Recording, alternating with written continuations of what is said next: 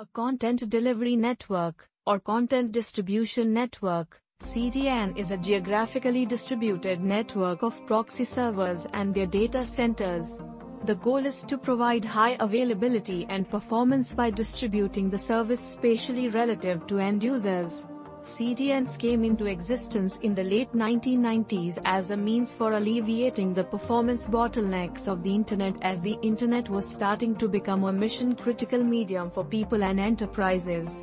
Since then, CDNs have grown to serve a large portion of the Internet content today, including web objects, text, graphics and scripts, downloadable objects, media files, software, documents, applications, e-commerce, portals, live streaming media, on-demand streaming media, and social media sites.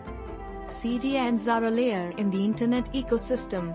Content owners such as media companies and e-commerce vendors pay CDN operators to deliver their content to their end users. In turn, a CDN pays Internet service providers, ISPs, carriers, and network operators for hosting its servers in their data centers. CDN is an umbrella term spanning different types of content delivery services, video streaming, software downloads, web and mobile content acceleration, licensed slash managed CDN, transparent caching, and services to measure CDN performance, load balancing, multi-CDN switching and analytics and cloud intelligence. CDN vendors may cross over into other industries like security, with DDoS protection and web application firewalls, WAF, and WAN optimization. Technology CDN nodes are usually deployed in multiple locations, often over multiple internet backbones. Benefits include reducing bandwidth costs, improving page load times, or increasing global availability of content.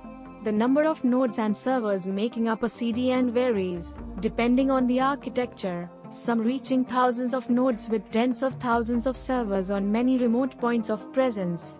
Others build a global network and have a small number of geographical requests for content are typically algorithmically directed to nodes that are optimal in some way. When optimizing for performance, locations that are best for serving content to the user may be chosen.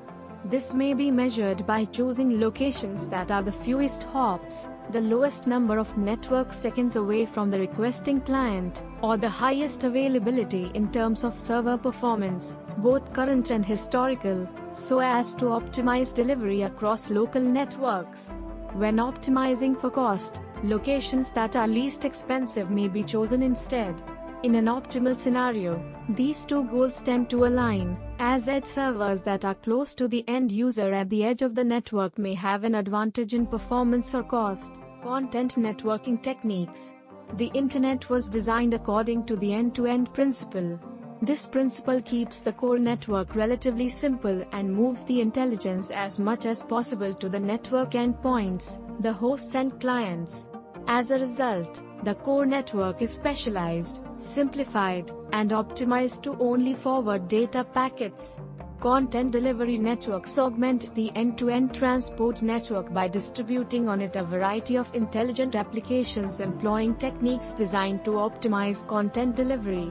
The resulting tightly integrated overlay uses web caching, server load balancing, request routing, and content services. Web caches store popular content on servers that have the greatest demand for the content requested. These shared network appliances reduce bandwidth requirements, reduce server load, and improve the client response times for content stored in the cache. Web caches are populated based on requests from users pull caching, or based on preloaded content disseminated from content servers, push caching. Server load balancing uses one or more techniques including service-based, global load balancing, or hardware-based. Layer 4 to 7 switches, also known as a web switch, content switch, or multi-layer switch, to share traffic among a number of servers or web caches. Here the switch is assigned a single virtual IP address. Traffic arriving at the switch is then directed to one of the real web servers attached to the switch. This has the advantage of balancing load, increasing total capacity, improving scalability, and providing increased reliability by redistributing the load of a failed web server and providing server health check. Notable content delivery service providers example of free CDNs, cdnjs, Bootstrap CDN, Cloudflare, JSDelivr, Page CDN, Coral Content Distribution Network. Example of traditional commercial CDNs, Akamai Technologies, Amazon CloudFront, Aryaka, Azure CDN, Cachefly, CD Networks, CenterServ, China Cache, Cloudflare, Cotendo, Edgecast Networks, Fastly, Google Cloud CDN, HP Cloud Services, Incapsula, Instart, Internap, LeaseWeb, Lumen Technologies, formerly Level 3 Communications, Limelight Networks, Meta CDN, NACEVI, OnApp, GoDaddy, OVH, Rackspace Cloud Files, Speedera Networks, StackPath, Streamzillas, Wangsu Science and Technology, Yottaa. Example of telco CDNs.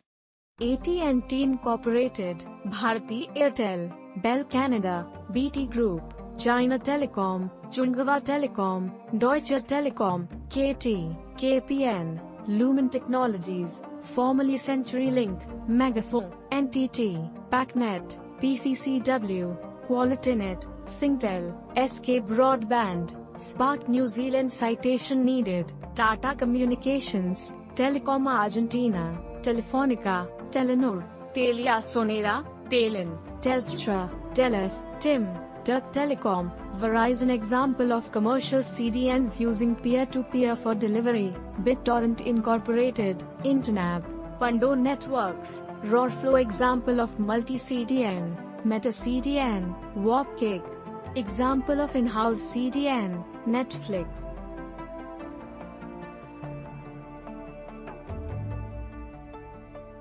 Thank you for watching here you can know more industry updates. For regular updates subscribe this channel and press bell icon. Leave your opinion about this video by your question. Your question motivate us for next part. Be technical, think technical.